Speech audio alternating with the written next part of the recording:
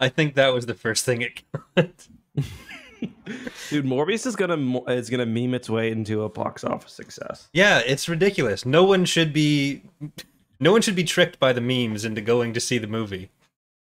Yeah, it's gonna be like basically Donald Trump, like how you know uh, Donald Trump was only elected because Reddit memed him into power, right? That's what I heard. That's what all the the textbooks are going to say in 50 years. Yeah, they cover the 2016 election.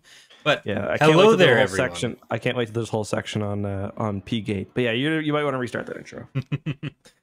hello there, everyone. Welcome to another episode of TapCaf Transmissions. I, as ever, am your little buddy Corey, and joining me is Big J. How are you doing today, Justin? Well, I think it's time that we tell the viewers that we are rebranding to the Morbius Movie Hour. The Morbius Movie Hour with a limited political discussion thrown in at the start. Every yeah, time every episode, we're going to spend an hour talking about uh, 10 seconds of Morbius, the uh, full length feature film uh, starring vampire Dr. Michael Morbius, PhD, MD. Um, yeah. Is that who it's starring? Or is that who uh, the no, character it's Jared, is? It's Jared Leto, right? It is Jared Leto. When he's uh, when he's between cult meetings, he goes and plays movie characters for our mm-hmm. entertainment. Yeah, yeah. But uh, yeah, how are you, Corey? You doing well? I I'm great. I finished my Lego Titanic. It is much bigger than I expected. It great. I didn't know uh, it came pre-broken up. Like, well, yeah, you build it in sixth, and then you you connect it all together at the end. I thought it was so that you could because there's a bunch oh, of internal stuff for it. Oh. I thought it was Wait. so that you could like easily pull it apart and like show oh, here's the engines because you build the yeah. little engines. They have the propellers attached, and you get all the little yeah. bits in there. But then you seal it all up. So oh it, but okay, when you sent it to me, it was in different parts. Like it was like cracked apart because of an iceberg. Is that how it's supposed to be, or is it one big? No, I just wasn't finished building it yet. Oh, okay. I thought because like when it hit the ocean floor, as you know, it like broke in half, kind of like that. Yeah, because the, the back bobbed and it had that great shot. But like, no, I if I wanted to, do, you can actually put it in that like ocean floor wreck mode where you just pick it up and you drop it on the floor, and then where it mm-hmm. goes, it's that's where it goes. Yeah, you and you and Dana are really into the the Robert Ballard role play, so the Titanic in the background is really helpful. All right then. Uh yeah, so today we're going to be talking about Agents of Chaos Book 1 Heroes Trial as well as uh, a couple thoughts a on uh Obi-Wan episode 3. I think next week we're probably going to do just an episode straight on uh Obi-Wan 3 and 4 probably mm-hmm. unless we're doing Tales of the Jedi. What do you think right now? Make a decision. Yeah, no, I think there was a lot of interest. I was checking the numbers, and there was a lot of interest in Obi Wan. So Fig- yeah, I think figure. three and four. Yeah. So or we four and five, or just well, next week it it's yeah. going to be four coming out, right? So yeah, yeah, we can't we can like say we're talking about five. We won't know what we're talking about. Yeah, but... okay. So are we going to talk about three at all today, or just uh just maybe next time? I think uh, we should maybe have a, a brief moment to talk about Corran, our yeah. our Lord and Savior. I give yeah. that episode ten Stackpoles. Uh, mm-hmm. So Corran's yeah, back. So yeah, okay. So there's some mild spoilers. Honestly, if you haven't watched the show, I don't think anything in this discussion will no. really spoil anything for you too badly. Um, Let's just anyway, stay to the broad strokes of what happened strokes. there, rather than like any plot related elements. So Right. And well, I also kind of want to talk about how kind of the fandom has been discovering this because that's also been part of the fun, in my yeah. opinion. Um, so it started off with episode two, uh, and again, broad strokes to avoid. Spo- Actually, yeah, broad broad strokes to avoid spoilers. Uh, uh, Kenobi visits a planet, and on that planet, he finds a mother and her child um, trying to secure passage to Corellia and there's some talk about the child possibly being force sensitive, although for reasons that you'll see when you watch the episode, maybe not. But anyway, in the credits, it's revealed that that child's name is Corran, which is pretty interesting. Now, if it were just a Corellian child named Corran, um, I would think that's probably just an Easter egg. But that was only part one of the mystery. Um, three part mystery so far. Yes, three part mystery. Um, so the next thing is somebody found the IMDb page for the mother. Uh, I can't remember her name uh, in the show, or sorry, I can't remember the actress's name. She did a good job though. I really liked her character. But um, apparently, before the show came out, her page was edited or the her role was given as how do you say the mother's name? Is it I say niche. Yeah, it might be anyway, niche. It, it's a Star Wars name. It's made up. This it's the same as Corran's mom in the EU, basically. So now yeah. we have Corran Horn. We have his mother with the same name, which is interesting. And making Star Wars actually, who I want to talk about in a few minutes later, um, put out a post saying that because for those who don't know, making Star Wars seems to have really good connections with this uh, production. They leaked the entire plot like months ago, um, and it's all kind of being confirmed now. But anyways, they put out a thing saying that they've seen like call sheets and stuff um, where the mother has that name. So it seems likely that that is her name. Uh, and then last episode, do you want to explain how the uh, the plot thickened even further, Corey? So we won't give the context of where this came up, but there was a wall that had the name Valen Halcyon written on it, uh, mm-hmm. uh, which is the name of Corran's father in uh, in the expanded universe. So mm. all the character names exist uh, whether that's actually going to be used for anything in the future, or if it was just some uh, neat like story group. Here's some things you could use for this stuff, or here's some mm-hmm. references thrown in by someone. Uh, it could go either way. There, I'd. It's just yeah. I'm not. I'm not sure. It's just weird that they're. It's all kind of coming together, and I well, I, th- I think we'll have a better idea by the end of the season. But yeah. But yeah, like so, Pablo tweeted something kind of indicating that uh, he had something to do with it. And if it was just Pablo who, if it was his idea, um, then most likely it's just it's just kind of a, an Easter egg. But he kind of talked about. I'm not sure whether he was referring directly to making those additions or kind of just some of the little things he's been doing generally. Um, but yeah, pretty pretty wild stuff. Corran could actually be coming back to Star Wars canon. Yeah, or coming can, to Star Wars canon he can be friends with Jacen Syndulla. Mm-hmm. Yeah. Uh, but yeah, so more important than any of this other news about like Bad Batch probably coming out in the middle of Andor, so we might have doubled up shows, is the yeah. fact that we have both started playing Galaxy of Heroes. Mm-hmm. Uh, how are you? Yeah. How are you feeling about the Galaxy of Heroes? Pretty good. Um, so I had actually played Galaxy of Heroes when it first came out. Um, I played it for like a few months and I enjoyed it, but I just I fell off for whatever reason, and I wanted to kind of restart my old account. Um, but for those who don't know, Galaxy of Heroes is a, is a mobile game. Uh, but when you start, you're put into what's called a shard, which is essentially like um, it's like a pool of other players who started the same time as you. And when you play an arena and whatever else, you're put in people with you from your shard. So if I were to start playing now, I'd be playing against people who've been going for like seven years. Um, it doesn't modify that at all. Like it doesn't update that. No, no. It's kind of weird. in your shard, you're in your shard. Um, but yeah, I'm actually I'm actually quite enjoying it. Um, I'm refusing to spend any money on the game whatsoever, yeah. which means that I'll never be like, you know, to be like the top tier. Pretty much most of them are are are pay to win, uh, and some of them are like. I know a lot of people in the Galaxy of Heroes kind of content creator space because back in the day, um, when I was at, I mean, I'm, I'm still a game changer, but back in the day, they used to have lots of Star Wars Galaxy of Hero game changers before they shut that program down. Uh, and there are people who spend hundreds of thousands of dollars on the game. Uh, it, it's insane. Yeah, it, I I'm also never going to spend any money on the game. Like I, mm. I have no inclination or no notion that I'm ever going to be like good or mm. competitive at it. It's just I press button sometimes when I'm bored on yeah. the couch now while watching a TV show. Yeah. It's like the the the introductory pack they try to sell you is like $129. $129.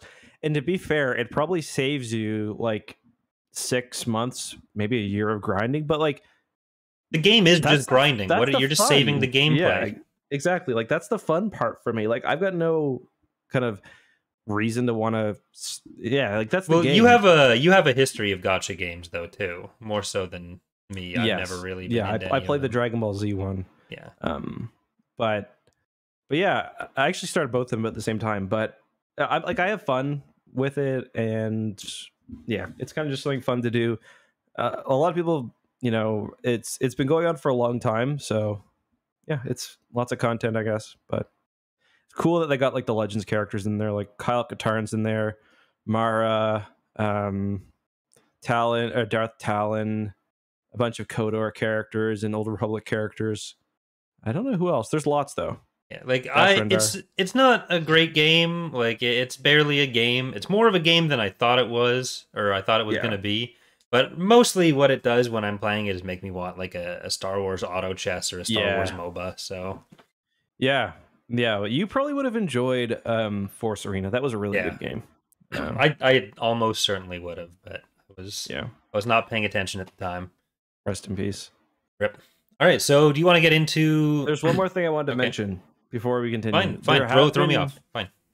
Yeah, there have been, I'd say, pretty credible rumors that um, Kenobi might be getting a second season. Uh, again, from making Star Wars. So, what do you? What would you think of that?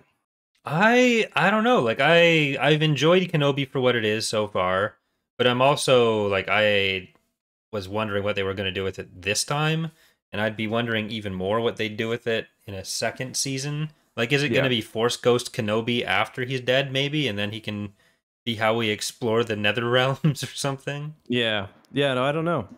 Um, I I feel like I kind of wish they had maybe made the first season a bit longer um because like we're halfway through already and i guess it, it is supposed to be a limited series though. It's just yeah it kind of feels like uh, it's kind of crazy that it's halfway over.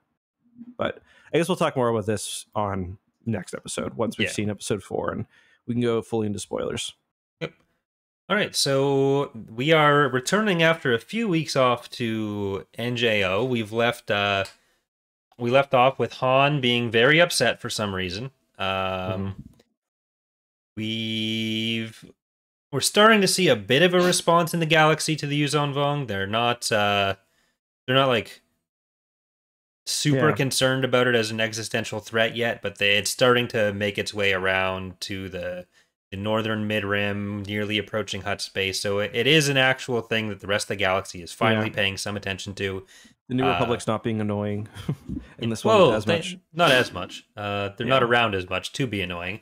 But yeah this uh, I guess this duology by James Luceno, the Agents of Chaos books, kind of explore what Han's going to be up to and his kind of path back to being a functional human, dealing yeah. with his his grief a bit. We get the introduction of Droma the Ryn, who becomes pretty important throughout the NJO uh, for a couple books, and then uh, becomes kind of a background figure that does some important stuff, but doesn't really get mentioned much anymore. And yeah uh, so generally, yeah, we just see Han gets contacted by some old smuggling buddies from the older Han Solo books. There's a ton of references to the Han Solo books, which we'll I completely definitely talk forgot about. them. Like, I know we read them this year. we read some year, of them. There's, I think, most of the references are to the other ones that we didn't read as well, though. There's a mix. so I think most of them are from the Han Solo, Han Solo adventures. Like the, uh isn't the guy that he meets up with? Wasn't that from Roa, he's from the books we read. I'm pretty sure. Is Roa from the books we read? I'm pretty sure. Not sure. Uh, but yeah, but yeah anyway, so I, I, completely like I'd completely kind of forgotten. Yeah. Um. Yeah, he's from Han Solo's Revenge, and okay, we did read that one. So okay, so but yeah, they have a, a, former associate who has gone over to the Peace Brigade. This is where we get introduced to the kind of collaborator elements of the galaxy who are giving over uh, refugees and information to the Yuuzhan Vong. Uh, so mm-hmm. Han is going to try to hunt them down. We see his adventures through it, and uh, mm-hmm. eventually he he does come out on top of that. But on the other side of it, we get some some of our first looks or first deeper looks into the Yuuzhan Vong society because uh, there's a lot more scenes with the Yuuzhan Vong characters, especially Nom Anor, who's going to become a lot more important as we go along. Uh, mm-hmm. But him and the high priest Harrar are in the middle of this plan to give over a priestess named Elan and Vergere, uh, her familiar, who was also a former Jedi, but no one knows that yet, to the New Republic and kind of infiltrate them, use her to cough in their face and kill all the Jedi. Uh, mm-hmm. Uh, and that goes horribly wrong. Yeah, and we see the, but it ends up working out kind of awfully for the Yuuzhan Vong because their whole plan what we're seeing in this book is largely the Vong trying to get them the the kind of fake uh like what what are they called? Um, deserters. Yeah. Yeah so the fake deserters uh into the new republic uh hands which they do. And then they kind of stage a variety of things to make it look like for one that the deserters have real information. Uh like they kind of they launch some poorly timed battles and they get defeated based supposedly on information from them. And they also pretend sort of that they're hunting them. So like they put up a show they sacrifice a few ships. So they give up the the kind of the whole getting the deserter into new republic hands and convincing them that it's legit is fairly costly. Mm-hmm. and then multiple the warships. Book, yeah multiple warships a bunch of and anytime i think about kind of these battles early on and the Yuuzhan Vong are very wasteful. Um, yeah, and honestly, that ends up really biting them. They can regrow their ships, but they lose. It's like it's largely the fact that they run out of warriors at like towards the yeah. end of the war, and you know their society kind of falls apart too. But um, uh, so yeah, at the end though, not only has this plan failed, but Vergere, who is the familiar uh, of of Elan ends up giving the tears. She, she's got her tears of healing properties, and she gives them to Han, and Han eventually gives them to Mara, and that's kind of the first step of Mara healing that sickness, which has been plaguing her for some time now, since before the war actually started. Yeah, so Mara's been kind of off to the side, being sick so far, but now this is going to be uh, the mm-hmm. first little turning point for the New Republic is they get full strength Mara Jade, level up to level 99 in Galaxy of Heroes, ready to kick some Vong ass. It doesn't go that high, but. Sorry. How high does it go? She's, yeah, 82, I think. But oh, she's got. Number. Wait till you see the amount of things in Galaxy of Heroes. You can first level up your characters, get their stars up. Then you can get their gear up, which goes up to like level 13. Then you can get their mods up. It's it's crazy. Well, You'll see. So I this is a very James Luceno book, which normally I like. Mm. Uh, James Luceno is really good for the references, the callbacks, that kind of thing.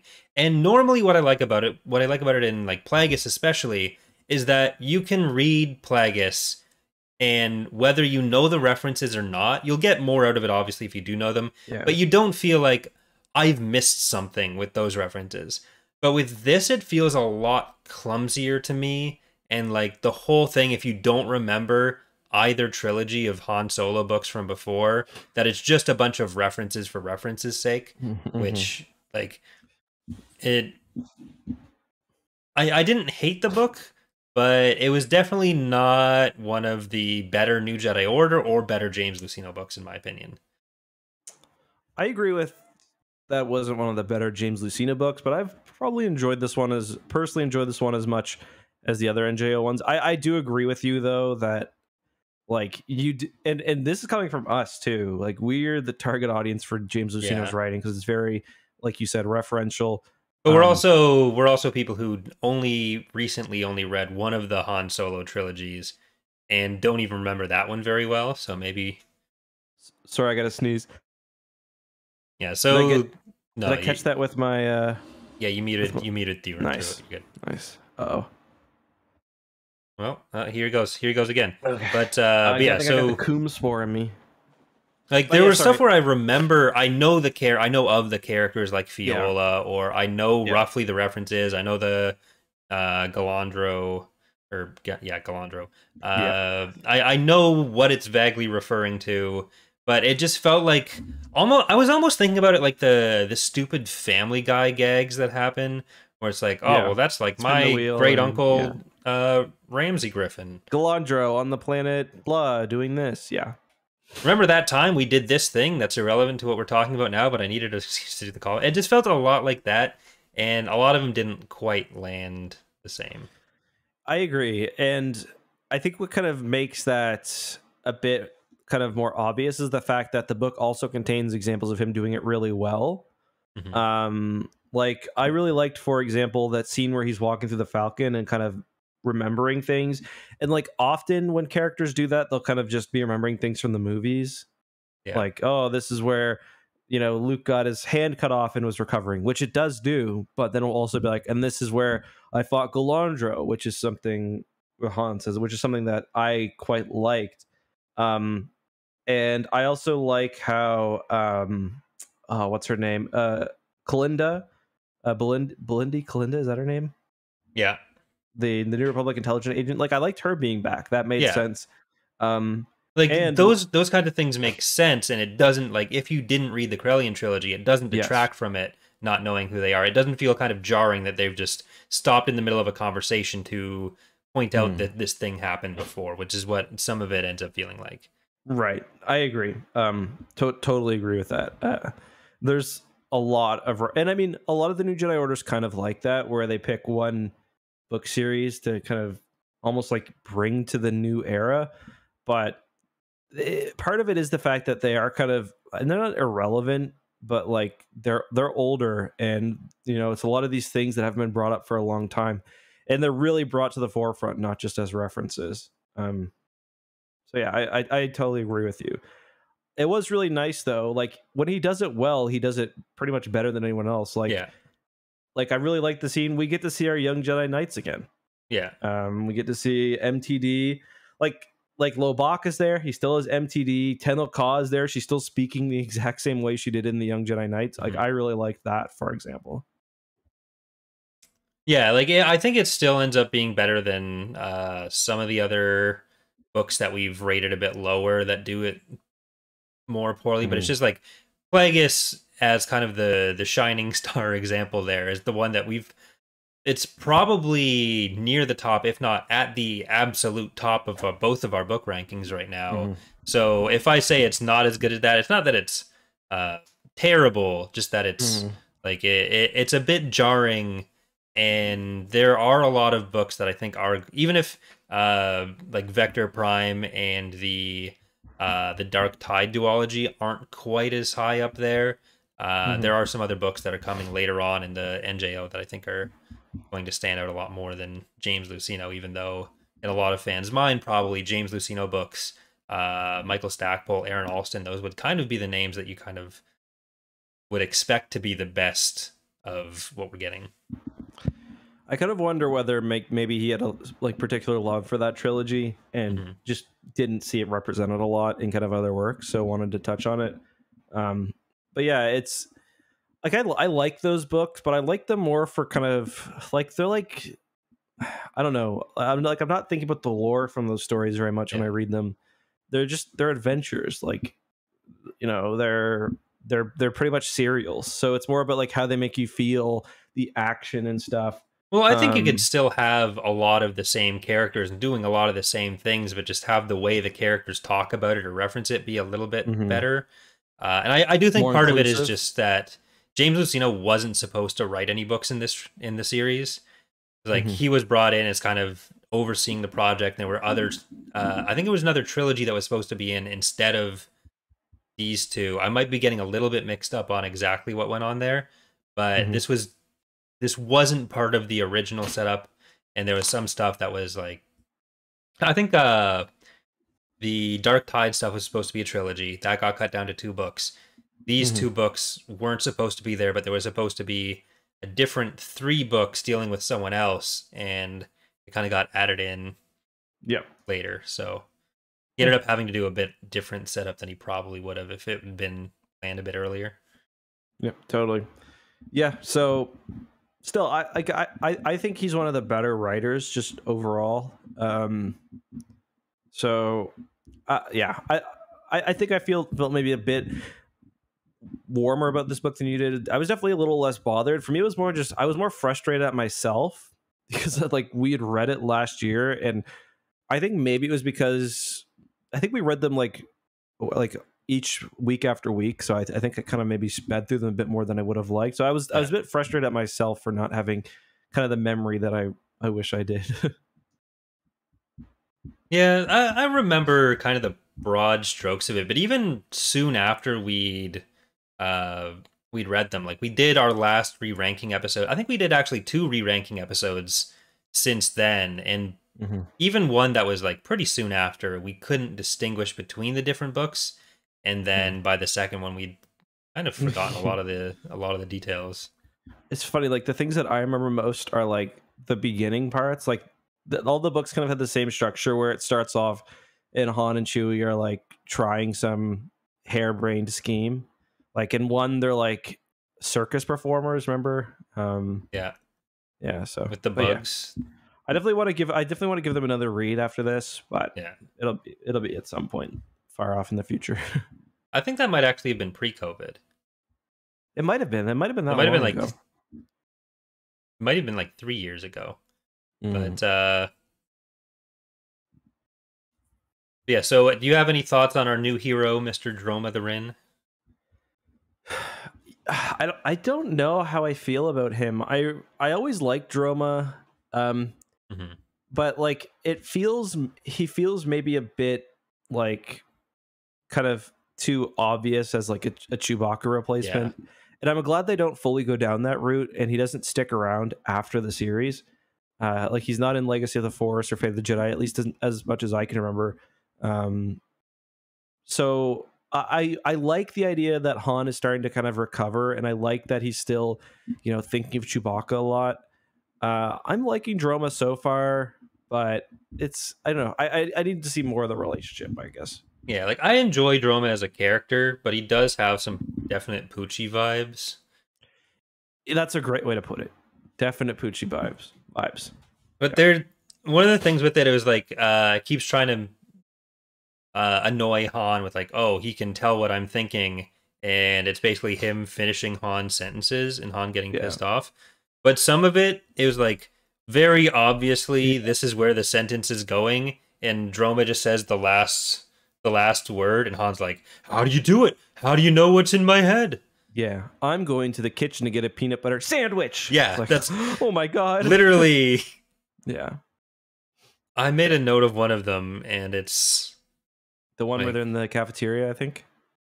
Yeah, I'll, I'll see if I can find it later, but yeah, yeah. I couldn't figure out how tall he's supposed to be because sometimes he's written like he's like a little like um one of the you know those other guys that you, that you talked about in your last uh, Glup Shitto appreciation. Yeah, the squibs. The squibs, yeah. Like, is he squib size? Is he normal size? No, I, I think they're. I think they're in are, are normal size. Just like sometimes they like talk about him holding on to like Han's leg and like I don't know. Yeah, well, they're they're kind of like Han falls and like grabs onto him a few times too. So there, it seems like they uh they talk about their height and body as being like relatively similar. Mm-hmm. Okay. Like he comments on Chewie's chair being huge, but that's mm-hmm. that's true for anyone. That's yeah, anyone who's not Chewie. So yeah, do you do you believe that uh, that anyone would recognize Luke Skywalker's name but not Leia? Like especially for a guy who is going to go on to lead a galactic information gathering network. Is he just pulling Han's leg here, metaphorically as well as physically? I forgot that they that they form like the Ryn uh, underground or whatever. Yeah, that's a good point. Um, I, I can believe that people would know who Luke Skywalker is. Um, politics are boring. Luke is, you know, Return of the Jedi. You know, but literal um, galactic president of twenty years. Yeah, war hero. I mean, yeah, I mean, I, I, think of like that scene from The Last Jedi, um, where like so many people in the galaxy would have like so little, like the New Republic doesn't impact them, you know? Yeah. Like they probably never get within like a sniff of Coruscant. They probably just see them all as like big hoity toity types far away. I think you'd still probably know the name most likely, but yeah. Luke kind of, I think, transcends that. Yeah, I think of the kid playing with the, uh, playing with the like in the in the Last Jedi, the, the broom boy. Like he would know who Luke Skywalker is. I wouldn't be surprised if he didn't know who Leia was. I guess, but Leia also wasn't twenty year president in that. She leaves the New Republic to run yeah. the Resistance after being president for like one year or something. Yeah, or not at all. I don't know. Yeah, no, she she never gets elected. Let's read Bloodline at some point. What is so you can stop making these dumb mistakes. Oh, I'm sorry. Just joking. I'm just joking. Oh, uh, the whole Showolter thing, uh, just wanting like his entire character in this book is wanting to bang Elan. yeah, uh, Elan's described as attractive a lot. and like they like they talk about like attractive for Yuuzhan Vong, and then they'll be like, she's got no nose also. well, she puts on the the ooglith masquer, and he's masquer, like, mm. yeah. Like, yeah, I probably would. Maybe I will bang this war prisoner. yeah, okay, Master Chief. Exactly, it's topical. Yeah. Much like the ointment he's going to need afterwards. yeah, you're going to need Alpha Blue to figure out what's going on with his Johnson after that. we did get an Alpha Blue reference, which was nice as well. It, like, I, that's again, I really like how. Now, he wasn't a character who had been anything else, right? Like, he was new. Uh, I think the Alpha Blue stuff in Diff Score. Scar? Yeah, but that that agent in particular, what was his name again? Um Showolter? Yeah, Showolter. Was he another? Like, I think he's from was... the Corellian trilogy, wasn't he? Oh, is he? I didn't think so. I but think maybe. he shows up in it. Uh, because okay. like most of that plot is from either the Corellian trilogy or the Black Fleet Crisis. There's a lot okay. of Black Fleet Crisis, a lot of Corellian trilogy, a lot of Han Solo adventure stuff. Mm-hmm. Uh, and he, I don't think he ends up dying. He gets pretty messed up. Let's see. Yeah, he's in Assault at Selonia, Heroes oh, okay. Trial, and Jedi Eclipse. Oh, okay, interesting. I didn't remember him being in the look, but yeah, he gets he gets shot, and then he's the first one who gets to test out Vergere's tears. Yeah, I I really enjoy Vergier in these early books, especially yeah. like she's clearly got something going on, and like it's not entirely clear what it is. You get like the hints at the recognition for Anakin so yeah. I could see going through this the first time and being like, okay, who? Oh yeah, totally. What's going on with this? I mean, at, at this point, like they don't even know what galaxy she's from. Like they don't yeah. know whether she's a Vong kind of creation, whether she's from their galaxy, or whether. And there's even the discussion like we know, and someone I forget who it is, but someone kind of basically predicts what happened. They're like the Vong have there's evidence they've been here for you know 50 years yeah. before they attacked, and that's pretty much what happened to her. She got kind of yanked by one of the the Vong scouts. Yeah. So and Droma was able to recognize her species, even if not her in particular. Yeah. So maybe there's a little Fosh enclaves in the CSA space. yeah. I was I was a bit surprised. Like, I would think that like Star Wars is a galaxy with like billions or at least millions of different species, um, and it says that all the time. And like I, I don't think she would be a, uh, that out of place on a regular planet. Like the, the, she's always described as like getting stared at and stuff, but like I think if you're in the Star Wars galaxy and you're going to a space station, there's a pretty good chance you're going to see a species you've never seen before. Yeah, she's basically a Calibop with reverse knees. Yeah, exactly. And I guess less equine, but because I think the Calibop's like a an avian horse looking kind of situation, right? Yeah, they're a bit more horsey and I know that because um, they uh, what what's his name? The narrator for the Thrawn duology spends half the book making neighing sounds. that might have just been his own his own flavor added in, though. You might have just you might have just been feeling it. yeah. yeah. yeah, we get we also get like it's just we get a reference to the Caamas crisis as well in the book. I just I I started trying to write down all the references, but at a certain point it was just too much. Yeah, like, yeah, I'm, I'm not gonna be able to get all these. so this is this is when Han really loses it and doesn't know how Droma's uh, in his thoughts. Mm-hmm. Uh, I have to say, Roki, you look a lot better than when I saw you last. Han scratched the rectangle of synth flesh Leia had applied to his forehead. The marvel of Bacta. Wish I could. And then Droma completes say the same for you. then Han just like fucking loses it at this. Yeah. You and I, I need to come to an arrangement. I don't know how the trick. I don't know the trick to how you do it, but from now on, you're gonna keep my thoughts to yourself. Understand? Okay.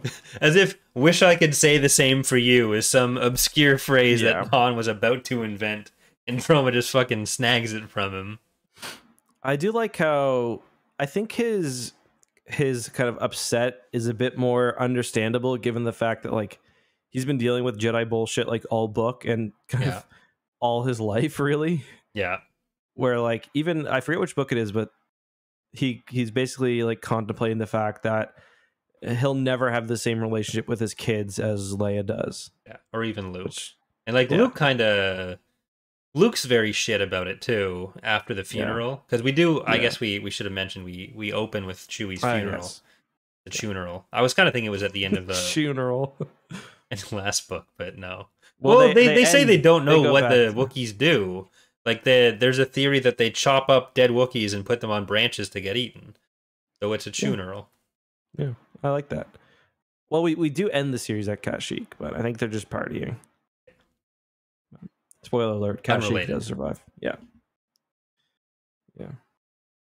Well, so the the immediate Solo and Skywalker families are invited. Lando and Mara just can't can't be bothered to make it to the to the funeral. Yeah, Lando's got scratch tickets to scratch. But and Mara's the, just being being a little bit of a baby. Yeah, like walk it off, Mara. She's just pregnant. Like she doesn't even have the Coom spore anymore. She's just she's just pregnant. Oh, she has the Coom spore. Had, yeah. Actually, no, yeah, Coom spore. Yeah, that's a. If if if if my wife ever gets pregnant again, that's how I'm gonna break it to my parents and be like, Kelsey is with Coom spore. Just call your kids collectively the Coom spores. oh man. So I don't know where I was going with that anymore. Uh, You're talking about the funeral. Yeah. So Han, uh, he's he's not really been around for his family at all. He's been off gallivanting through pubs, and he he wants to leave again. So Leia, Leia and Han are in a, a tense place in their lives. Mm-hmm. But at the end of this book, at least, Han and Anakin are able to have a nice little chat. Uh, that was nice. And they they get back together for a long and happy life with no further drama between the two, and, and that's nice. Yeah, yeah, no, and he he leaves immediately. I there's some real tension between Han and Leia at this point. Yeah. Um, and one thing I didn't really appreciate from Leia is she's like, I'm not gonna be Malla. Like, you can't just come in and out of here when you please. I'm like, Chewie didn't really have a whole lot of freedom. like, yeah, it wasn't it wasn't her fault or his fault that he was not Kashyyyk very much. Yeah, it was like he was either babysitting your children or trying to save your life. Yeah, but she could have still said, "Look, you've got your life debt. I'm not. In, I'm not okay with that. We're not getting married." Mm-hmm. Uh, but like it, with their longer lives established later on, like they they yeah. might have just gotten married earlier, but now it makes it seem like Chewie was maybe five years old during uh during the Empire or something. Yeah. Oh, that's what it was. So uh, the life that apparently goes multi generational if uh, if Chewie yeah. dies before Han. So not just Chewbacca's son Lumpawaru, uh, mm-hmm. but also Lowbacca are about to pledge themselves to Han for the rest of their lives. And Lump, rather than Lumpawaru shortening to Lumpy like he does in other places, he goes with Waru. So I was just picturing Waru and Lowbacca following. Oh yeah, we, we, we, get a Crseih Station mention as well. Yeah, from speaking of Waru, but yeah, and that's also a little bit sketchy because I'm pretty sure the life debt gets extended to Han's immediate family as well. Yeah, but I guess maybe that's only while he's alive. But it just kind of sounds like. You know, you you save a Wookiee from a bad day, and you got multi generational servants. Yeah, this is not okay.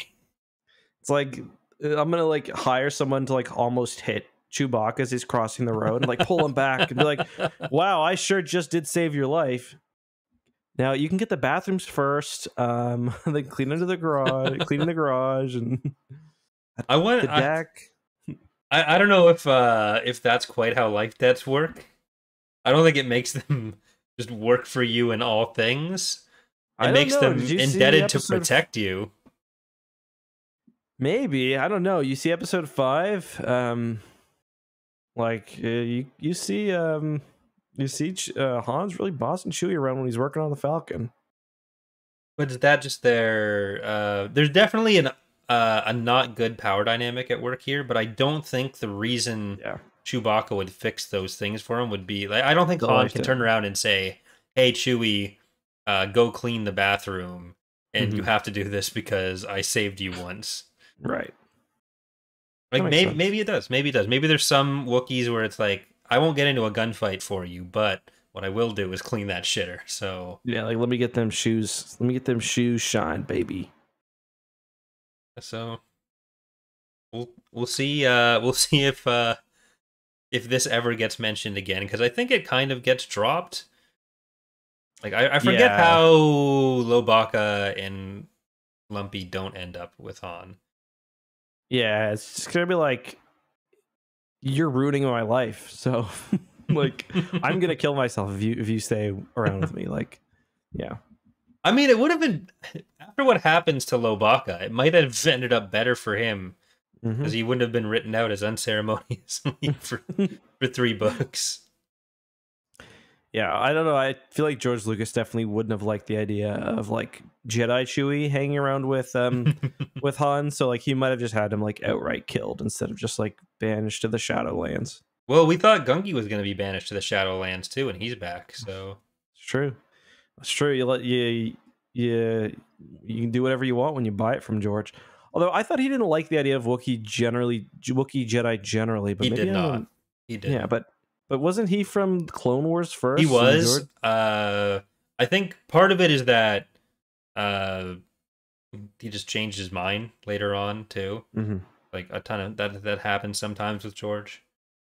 He, and, and he also expected him to be killed by Order sixty six. yeah, maybe that was it. yeah.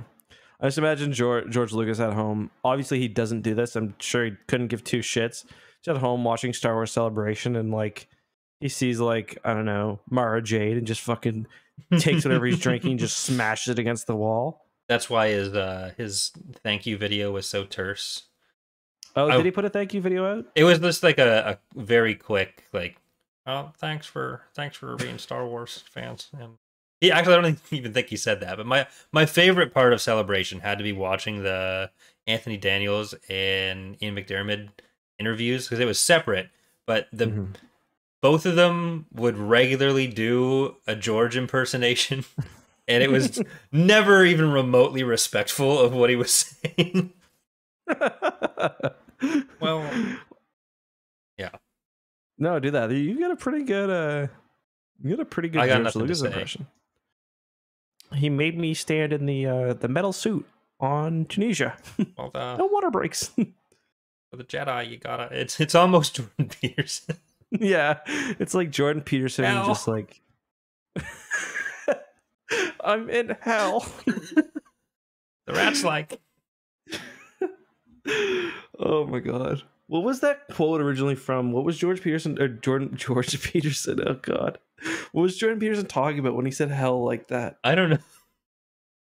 He was probably about to cry about people not respecting hell. I don't know. Yeah. Yeah, I think that was it. Then, then the Jedi can't have sex. Not happening. Look what they're doing to our young men. they have to wear the cloaks because if they wear more revealing clothes, then. Notice how the most powerful Jedi is a lobster? we could learn from them.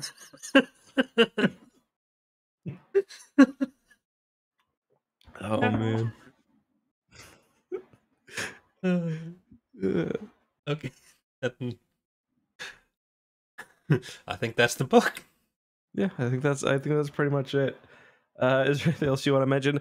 I feel like not a lot actually happens in this book. Like a lot of it is this the space station, the wheel being attacked. Um, I mean, it is very Han Solo adventure style, like yeah. That. I enjoyed it for that reason, actually. Um, but yeah, it was it was good stuff. Um, so wait, does the does the Jubilee wheel actually still exist, or is it complete? Because it, it almost seems like it was it it survived that. I don't think it actually clears it up whether the station is still up there um, afterwards. Based on the fact that I mean, all we know is that Han Solo at one point Han Solo is able to like fly in between it. Yeah, like the sections. I imagine it got like banged up pretty badly, but I don't think it got fully destroyed. So because Leia's Leia happens to be on Ord Mantell doing some uh, refugee yeah, evacuation. We didn't talk about that. yeah, Han is trying to avoid Leia. He convinces three yep. PO to not lie to her, but lie by omission.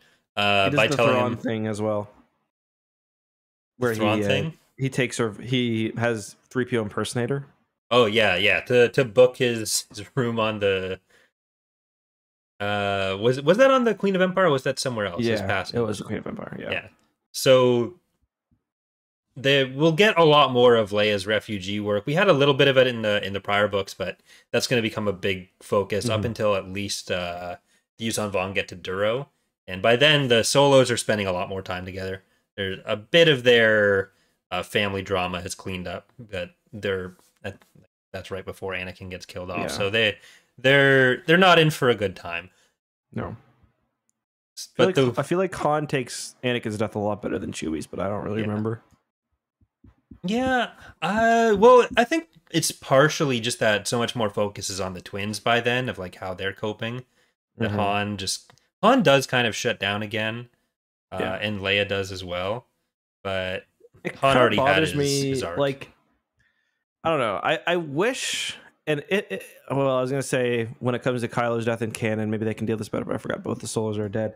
But um, losing your child, like that's a obviously a life changing thing. Losing two children, like I kind of wish they talk more about Anakin and Jacen mm-hmm.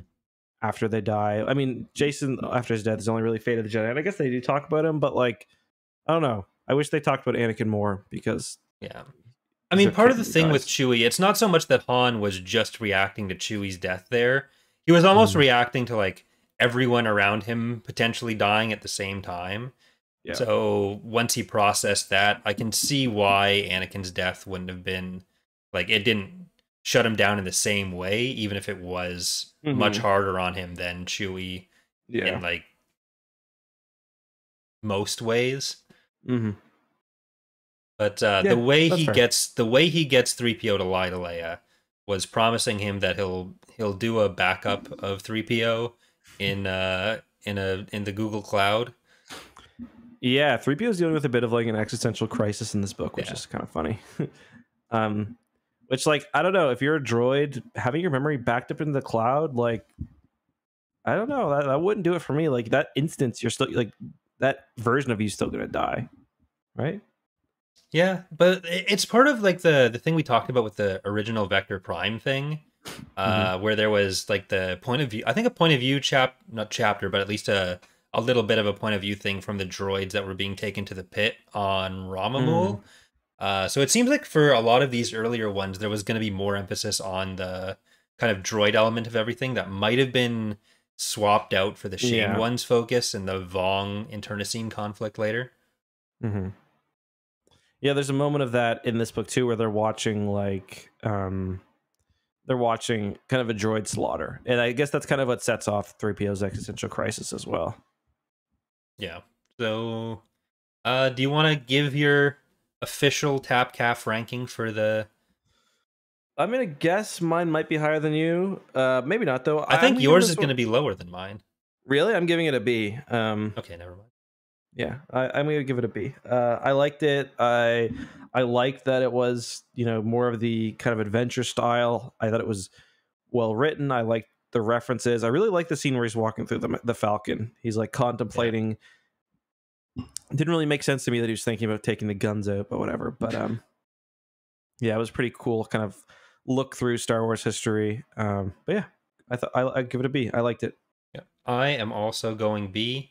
Usually, what happens is like we'll talk about it. It'll sound like you hate something a lot more than me. I like something a lot more than you, and then it's like the opposite in our rankings. So, uh, yeah, I think I still need to add a couple of these to the to the spreadsheet. I don't think I put on okay. Brotherhood, but uh, yeah. So um, double yeah, B's stuff. for us.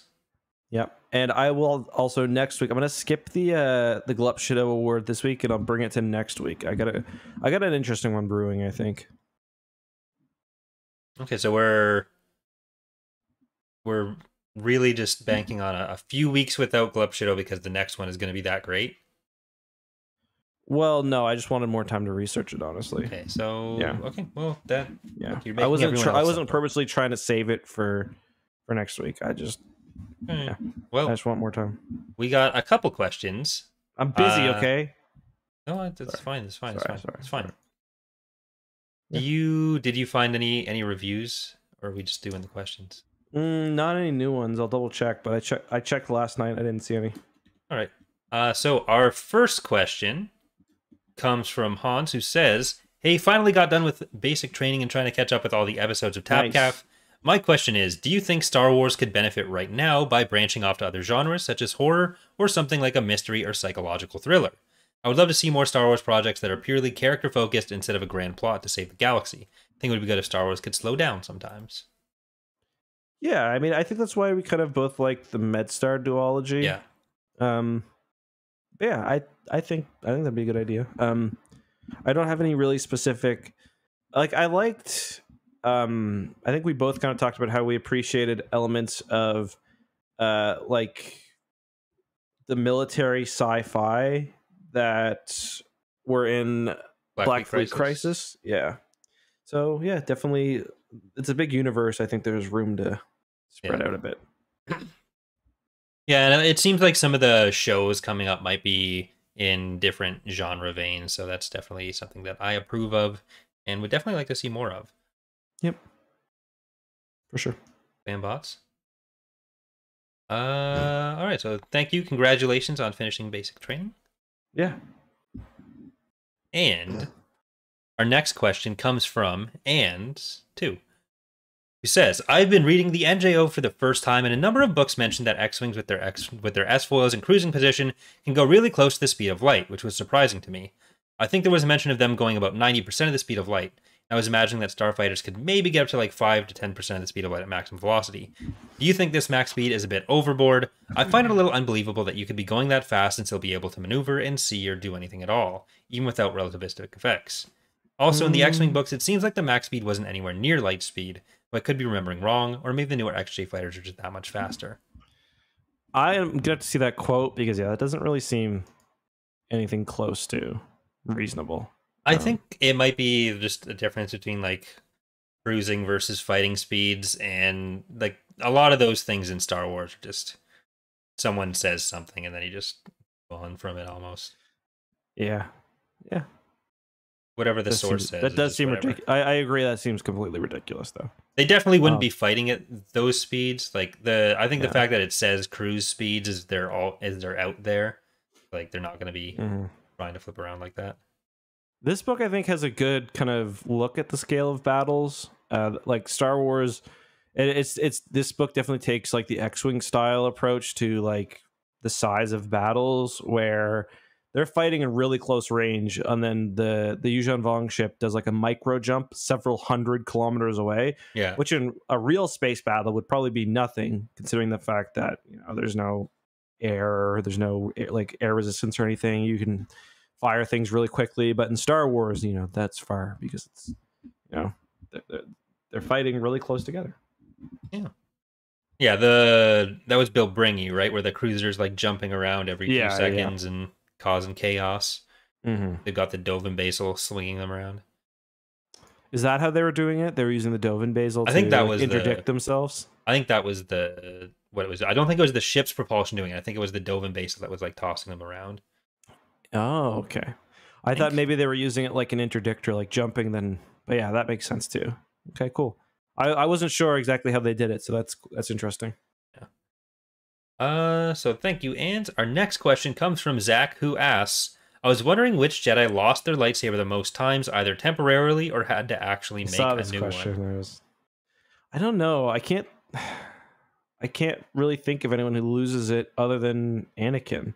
Um, I think the person who makes the most lightsabers is probably Luke. He gives them away like candy at different points too. Yeah, he's got the Shoto. He's got his lightsaber, his green lightsaber. Does he make Leia lightsaber? I can't remember. Uh, I think he makes the red one for Leia. Right, because he so presents it to her in in the Corellian trilogy. Yeah, so that's like four, right? Well, he doesn't make the blue one, but he makes the green one. He makes his he makes his Shoto, I think. Yeah. He gives um, he gives Mara Anakin's, right? Anakin's, he, yeah. Yeah. Yeah, yeah. She's got the blue one. Um because he's using the one that he made in Return of the Jedi, but he, I feel like he maybe at one on one occasion makes one of the kids a lightsaber as well. Yeah. Or makes some temporary ones. So yeah, I think that's probably a good estimate. Where because for a while too, like Luke is the only one with like knowledge of the Jedi arts. Yeah. So yeah, he was probably he was probably making them for a while. But I mean, I imagine it'd have to if if you really want like to in universe, it'd probably be a really long lived species like a Yoda or someone like that who end up yeah. making the most. I mean, they they've fixed a few retcon issues with saying that Yoda had multiple. So, yeah, exactly. Yeah, good uh, question. I, I, I can't think of one who routinely loses them other than Anakin is like yeah. described as not being able to keep his hands on his lightsaber. The weapon is his life. Don't lose it. Exactly. Thank you, Zach. Our next question comes from Calix, who, on top of just being great at storing things, says, "What is your guys' favorite minor faction?" Favorite are you a fan of the, faction? Are you a fan of the Tion? Uh, no, not really. Um, I like the um, oh, what are they called again? The uh, the monks that they visit. The Ang uh, no, not the Ang T. that was actually going to be my first answer.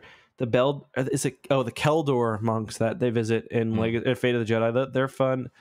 Um, I kind of like the like the this hidden Sith as well. I don't know if that's like a minor faction, but the, the ones, ones like the one Sith. Yeah. No. Yeah. True well, Sith. The, yeah. Sith. The ones with like white eyes and stuff from Legacy of the Force. They're yeah. kind of cool. Uh, the CSA is kind of interesting. They get some kind of they get a bit of they get a bit of lore in this book. Um, but the Hapans are probably like they're the probably biggest minor faction. Yeah in Legends, and I like the way they're handled. Yeah, I guess uh, shout out to the Ssi-ruuvi who pop up a lot more than I think people yeah, expect them to. They have a bit more background information. There's stuff about how like uh, you get more information about like the backroom deals with the Empire than you might think. And like, mm-hmm. there's even like names of planets that were given to the Ssi-ruuvi, uh, mm-hmm. and they're like how the Empire said that uh, one of the planets was like a, a no go plague zone, but it was really just because they'd given it to these dinosaurs to suck your soul out. Right. And we we get a we get a bit of conversation that confirms like in other books they talk about like Ssi-ruuvi space and this time they actually say specifically it's out of the galaxy which I like. Yeah. It's like they're like the proto Yuuzhan Vong because they're they're like star system is like outside the galactic disk, but yeah, it's the, the Vong are there. like the Vong are like fully from a faraway galaxy. Yeah. Uh, that, at least that's what they're assuming. They talk about that. It's like, could it possibly be that they're from this galaxy we just didn't know, or like they're from somewhere close by? And no, it's just like they've got such a big fleet. We also get ship numbers. They say they got like a thousand large ships. Yeah. Um, that's always a tricky prospect. Like giving yeah. numbers, that's always a scary thing. Yeah. Especially uh, where like the Vong haven't fully arrived yet. Yeah. Like Tsavong Lah's fleet's not even there yet, I don't think. Yeah. Because they kind of talk about how he's on his way. Yeah, like Nas Choka is nearly there, but there's like huge mm. sections that are still going to be filtering in for, uh, for basically the rest of the series. Yeah. But thank you, Calix. Our next question comes from AJ, who says, as someone who, up to this point, has only listened to the abridged audiobooks, I was wondering if there was any mention at all in the series of Lumiya and her future plans for Jacen. In Legacy of the Force, she reveals that she and Vergere had their sights set on Jacen for a long time. Is this talked about at all, or is this a retcon for Vergere? So this is something that is really controversial. A lot of people really don't like the fact that Vergere was turned Sith uh, in a retcon. Uh, yeah, so, so yeah. It's, it is a retcon. Yeah. At this point, Vergere is a very mysterious figure. I, I think because I've listened to the most of the truncated versions before, and Vergere's character arc at this point is uh, for this one book, from what I remember, is pretty accurate. Um, yeah, like the the big place where we're probably going to be talking about Vergere and what her actual philosophy is, and whether there whether it makes sense that it aligns with the Sith or not, or that she would have had dealings with the Sith, uh, mm. will hmm. probably be Traitor. Like, there's going to be a lot of talking about that, and then of course how it impacts Jacen going forward. So we're definitely going to have a lot of discussion about uh, what does or doesn't work with Vergere. But yeah, but at this point, Lumiya was not like I say recanonized. Lumiya came from the Marvel comics, um, and I kind of have described those before as they were almost like how we treat legends now. Like mm-hmm. authors would draw from them, but the continuity wasn't really a big thing. Um, Lumiya was kind of just plucked out of there for Legacy of the Force, um, yeah. which is kind of cool. But she's not mentioned at all at this point. Actually, yeah. she might get a mention. Uh, does she get a mention? I think she's been mentioned along with the. uh I think she's mentioned by Mara by here with the long lost or the lost loves the of. Luke Skywalker. Yeah, but I think she also shows up somewhere else with that other apprentice person. So I think she's she's been kind of in the background in some places, uh, but yeah, like, like we her there like stuff came out after the fact detailing what she's doing during the Vong War. Yeah. But, but yeah. Yeah. So a lot of Vergere, a lot of Lumiya, a lot of Jacen discussion for sure that's going to be coming up. Mm-hmm. Uh, but thank you, AJ. Finally, we have a question from Joel who says, My question to you is this why did the Empire and Legend get so whitewashed in the post Endor era? Was it just the culture at the time, or was it just part of the natural evolution of the post Endor era, starting with Thrawn and making him a less psychotic leader than Darth Vader and the Emperor? I'm always curious why the expanded universe went in this direction for the Empire. So we've talked about that it did get kind of whitewashed, especially with the return of Pellaeon and everything here. Uh, but we haven't really talked about why this might have been the way it went. I think probably honestly because they needed to move away from just the Empire being enemies all the time. Yeah. Um, and I, I think like having the Empire team up with the good guys is a really kind of good way to show that this new enemy you're fighting is a big deal. Or yeah. like, yeah, I, I I think probably just for storytelling purposes, because like one thing you also got to consider is that was happening in the 90s. So although you know the kind of that iteration of the expanded universe had been around for a while and they didn't know kind of what was going to come next in the post endor era. Like they didn't know if there was going to be movies or whatever. So they kind of just had to keep telling interesting stories without any like there wasn't a first order for them to start writing about so. Yeah like i think a big part of it as well is that these characters became kind of fan favorite villains and then get to be used in other stuff later on. So like Pellaeon, Thrawn, and where uh, from Timothy Zahn especially wanting to kind of change Thrawn retroactively into not always having been quite as villainous, but then you have uh, like fans get attacked to, attached to Pellaeon, and he's going to be showing up and stuff, uh, even if it no longer yeah. makes as interesting a story to fight the Empire anymore. So they still want him around. Like if Pellaeon doesn't exist, do they bother really writing in the Empire to this series as much as they did? I don't think so because it's almost exclusively Pellaeon, along with mm-hmm. a bit on Jag. But that's true. Uh, yeah, I didn't think about that before, but that's a good point. Yeah, I I think it's mostly characters and that like they didn't get rid of it entirely before, so if they're gonna mention it, there it is.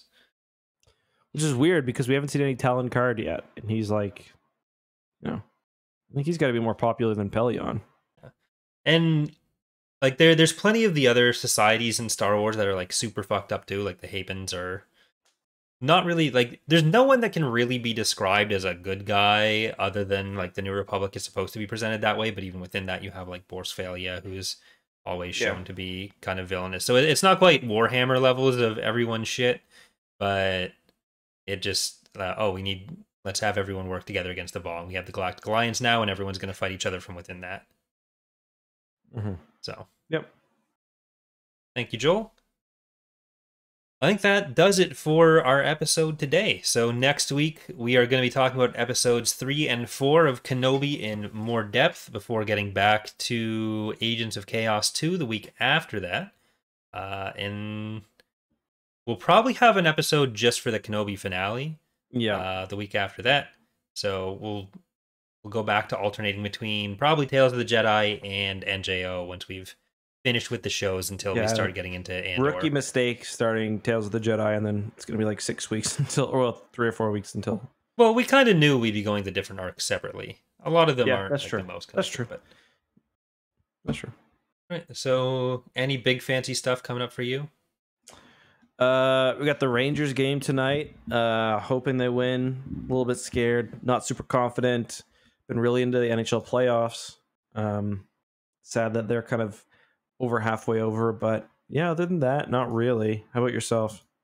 Uh, this Sunday we've got the Thrawn's Revenge 16th anniversary stream at 3:30 Eastern, showing insane. fancy stuff. So that'll be fun. That'll be on Corey Loses. So check that out if you want to see Empire or Mod